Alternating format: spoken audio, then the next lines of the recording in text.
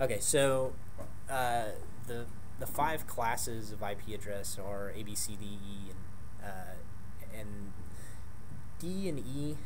Uh, D is going to be used primarily for multicast purposes. Like if you see uh, any address that starts with 224 dot anything, it's usually a multicast IP.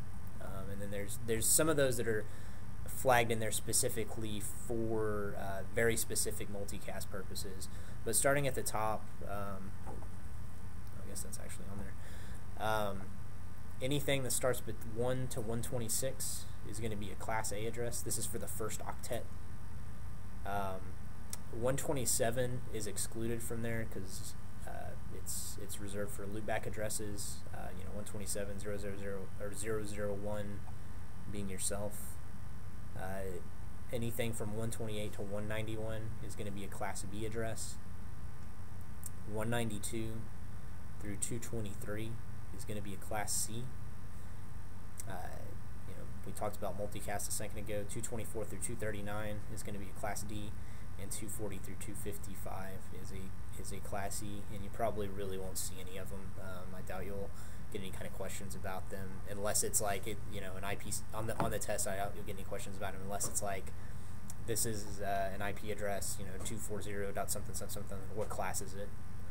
Um, Is there any specific interval that the classes are divided? Yeah, it's uh, it's also powers of two, kind of. Um, like it's it's counting in reverse, but like you know zero zero is obviously not in there, but zero through one twenty seven would be uh, two to the seventh.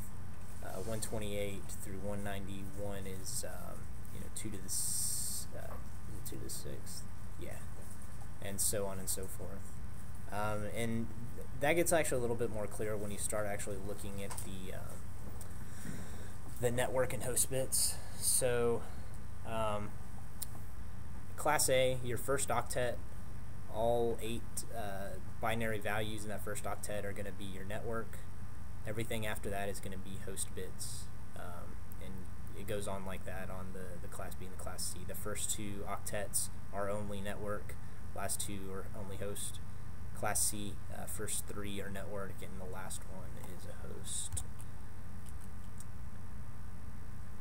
And those are the those are the classful networks. It's important to be able to differentiate between a classful network and a classless or a variable length uh, network.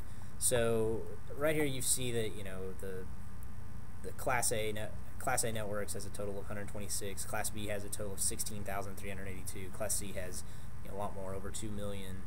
Um, and then it's also got a, a lot of hosts, especially like if you only have a few networks. So for a Class A, you know, a class full Class A uh, IP address, you've got 16 million hosts in there. So there's no one that's going to need that many hosts on a network. You should really be segmenting that up, and that's when we start getting into VLSM and variable length subnet masking, and you know, breaking down these classful networks uh, into variable length subnet masks so that the the IP ranges can be more eloquently uh, used. So basically, like the the network part of that um, is it won't change because it's specific to the network, and then the host, all those are can change because those are the actual devices connecting.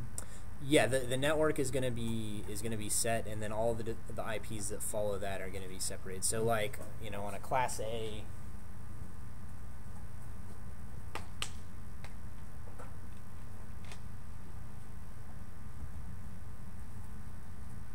So on a class full class A network, let's say your first octet is uh, ten, because that's a so that that identifies your network, and then your your other three octets, you know, have the full range of you know zero to two fifty five. So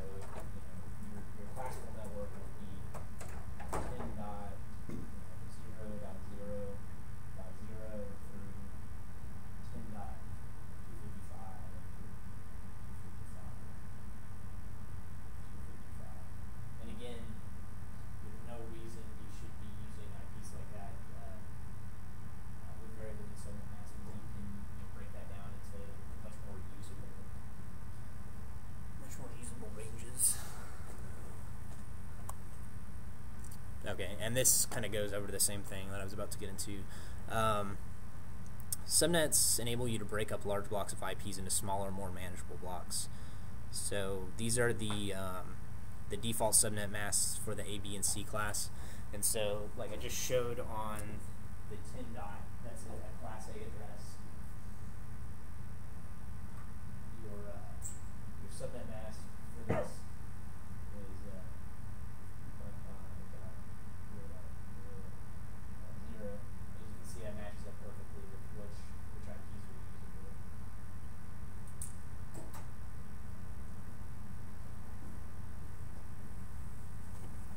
Oh, and if you do, uh, it, I said that you probably want to learn, you want to know which, uh, or memorize slash 24 through slash 32, but knowing the, um, the classful uh, subnet mask and CIDR notation for Class A, Class B, and Class C is probably also useful.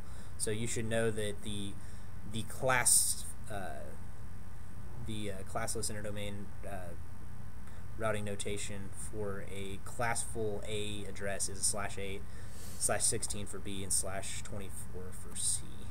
And those range to the like it goes from slash eight to slash fifteen.